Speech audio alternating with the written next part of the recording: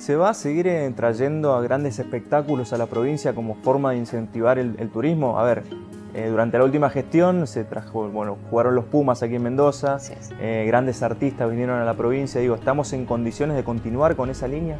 Sí, yo creo que sí, porque Mendoza tiene, este, en principio, este, una gran cantidad de productores privados este, que son socios estratégicos del Estado en este sentido y que este, traen propuestas y el Estado puede acompañarlos con la ayuda logística, no solamente este, económica.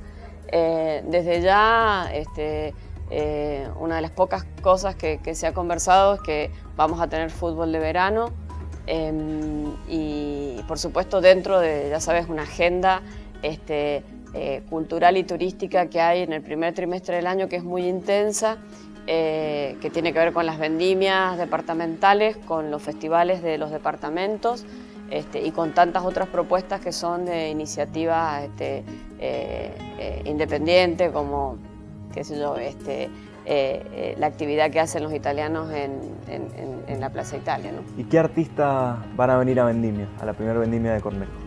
Bueno, en realidad una sola cosa se ha manifestado. Nosotros este, creemos que no hay que traer este, este, artistas eh, extranjeros eh, o si los traes tienen que tener más que ver, digamos, con eh, los géneros musicales que se vinculan a la vendimia, que no es el ejemplo de Romeo Santos, por ejemplo, como la antítesis de lo que nosotros creemos, y digamos con las condiciones de un artista de esa naturaleza, que que todos sabemos los que hemos estado vinculados en cultura, este, los requerimientos de escenario, de camarín, de, cumplimientos de horarios que hacen tan complejo compatibilizarlo con una fiesta como la nuestra.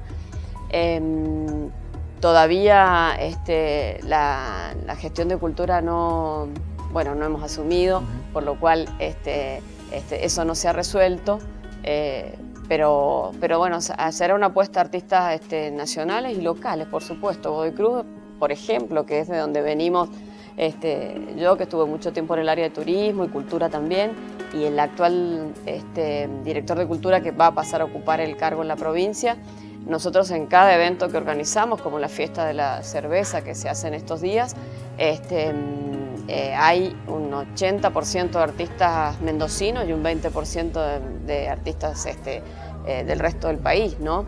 Eh, de esa manera uno abre los escenarios para los artistas locales, generando empleo para ellos, permitiéndoles que lleguen a un gran público este, en, una fiesta importante, imagínate en la vendimia, este, así es que digo, pasará por allí.